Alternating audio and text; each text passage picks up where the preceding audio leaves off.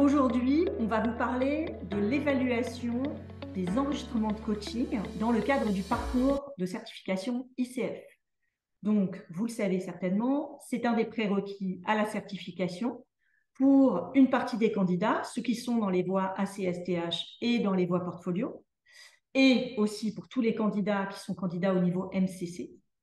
Les candidats doivent faire évaluer leur performance de coach, c'est-à-dire leur capacité à mener un coaching selon le référentiel des compétences ICF, par euh, ICF Global. Donc, comment ça se passe? On s'enregistre et Sylvie va vous donner des détails sur le comment. Euh, et puis, on envoie, euh, dans le cadre de son dossier de certification, on envoie ces enregistrements sur le site d'ICF Global en fonction du niveau de certification qui est demandé. On pourra vous demander soit un enregistrement pour le niveau ACC, soit deux pour les niveaux PCC et MCC. Alors Sylvie, à ton avis, toi, c'est quoi la bonne façon de se préparer pour ces enregistrements? Alors, la meilleure façon de se préparer, c'est d'abord d'aller voir un peu plus près euh, quelles sont ses compétences ICF, et en particulier les marqueurs, qui sont les marqueurs qu'on appelle marqueurs PCC, qui sont en gros les comportements que les évaluateurs vont rechercher dans l'écoute des enregistrements. Ensuite, on peut faire appel à un mentor coach, et c'est souvent d'ailleurs un autre prérequis, les 10 heures de mentor coaching, euh, qui lui va écouter lui aussi vos enregistrements, euh, vous accompagner sur cette compréhension des compétences et vous donner un feedback précis euh, sur comment on, les observe dans vos enregistrements. Donc ça, c'est très utile. Et tout ça dans le but que vous, j'insiste sur le vous, que vous puissiez décider euh, quels enregistrements vous allez soumettre à ICF. Merci Sylvie. Alors, euh, enregistrement d'une séance de coaching, ça suppose un client de coaching. Comment on le choisit, ce client? Alors, effectivement, il nous faut un client et il nous faut un vrai client avec une vraie séance de coaching, un vrai objectif de coaching. Donc, euh, l'idéal, c'est de prendre une séance type dans un, accompagnement de coaching sur plusieurs séances, donc pas la première séance sur la pose d'objectif, mhm. ou alors de faire une séance dédiée avec un client sur un, euh, coaching ponctuel, simplement.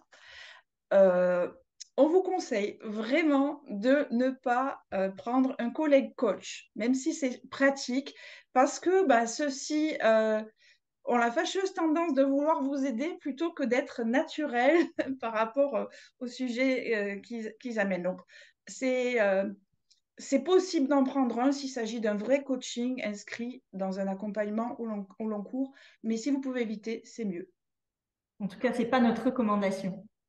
En revanche, ce qu'il faudra penser à faire, coach ou pas coach, c'est demander la permission écrite à votre client avant d'enregistrer la séance pour pouvoir l'utiliser lors de la certification. Vous pouvez aussi demander cette, euh, ce consentement au tout début de l'enregistrement de la séance de coaching. Tout à fait. Alors, quels sont les critères euh, d'ICF pour que cet enregistrement soit accepté? Alors d'abord, il faut que ce soit un audio et pas une vidéo. Mhm. Euh, cet enregistrement doit être compris entre 20 et 60 minutes. De manière générale, on conseille des enregistrements autour de 30 minutes ça suffit amplement et c'est confortable pour toutes les personnes qui vont devoir écouter. Il faut absolument que ce soit un seul jet et que cet enregistrement ne soit pas coupé, sinon il va être rejeté. Euh, ensuite, euh, nous vous recommandons de bien soigner la qualité de l'audio, c'est-à-dire de vérifier que euh, l'enregistrement est bien audible, bien compréhensible. Donc, vous pouvez peut-être faire un essai avec votre client juste avant pour être sûr. Mais voilà, ça, c'est des choses importantes. Et je voudrais rajouter que vous avez la possibilité, si vous devez donner deux enregistrements, de les faire dans deux langues différentes. Donc, par exemple, un enregistrement en français et un anglais, si c'est votre clientèle, par exemple. C'est tout à fait possible. D'accord. Alors, euh, une autre bonne pratique, si vous utilisez un téléphone portable, pensez à le mettre en mode avion. Ça vous évite les bruits de notification intempestives. Croyez-moi sur parole, c'est du vécu. Ah oui, ça, ça. Alors, euh, cet enregistrement, il doit aussi être accompagné d'une transcription euh, fidèle. Est-ce que tu peux nous, dire, nous en dire un peu plus? Oui, tout à fait. Alors j'aime bien le fidèle parce qu'effectivement, en plus de, l'audio, ICF demande d'envoyer la transcription mot à mot. Donc, c'est-à-dire avec tous les verbatims, y compris les petits mm-hmm, oui, oui, euh, presque les silences, en, fait. Donc, tout doit être retranscrit avec une différence euh, entre le coach et le client. Donc, on ne veut pas les, les, noms, mais juste coach-client. Euh, et effectivement, indiquer les, les, temps à chaque changement de parole. Donc, c'est quelque chose d'assez précis qui prend du temps et qui doit être fidèle. Alors, il existe bien sûr des logiciels pour faire ça. Mais quoi qu'il en soit, euh, logiciel ou pas, il vaut mieux bien, bien relire pour être sûr d'avoir attrapé tous les petits mots qui sont très importants pour les évaluateurs aussi, y compris les silences, encore une fois. D'accord. Alors, une fois qu'on a fait tout ça, euh, c'est quoi la suite? Euh, Alors, la suite, c'est que ben, on va attendre. Donc, d'abord, effectivement, on le dépose sur le, sur site ICF et après, ben, on attend on attend le retour d'ICF, donc ça peut prendre plusieurs semaines, voire plusieurs mois, donc il faut être patient. Ça va dépendre de l'affluence, des disponibilités des assesseurs. Et ensuite, on va recevoir euh, un mail de la part d'ICF nous disant si l'enregistrement a été validé ou rejeté, et avec la possibilité d'aller voir les feedbacks des évaluateurs. Qu'est-ce qui se passe si notre enregistrement ou nos enregistrements ne sont pas validés? Alors ça arrive hein, régulièrement, pas de mmh. panique. Euh, euh, simplement, euh, vous n'avez pas toute la procédure à refaire, mais vous pouvez tout simplement renvoyer un enregistrement ou, les deux si, si, demandé.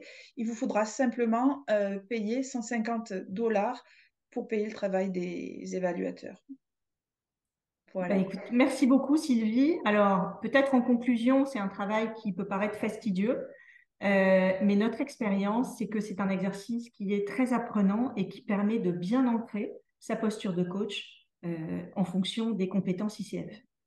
Oui, et aussi de savoir euh, en quoi justement on est légitime, puisqu'après on, on, connaît bien les marqueurs, on sait ce qu'on utilise à quel moment du coaching. Donc vraiment, ça renforce son sentiment de professionnalisme. Ça, c'est une chose qu'on entend souvent. Et ça, c'est important. Merci beaucoup, Sylvie, et à bientôt pour une nouvelle capsule. Merci, Delphine. Au revoir à tous. Au revoir.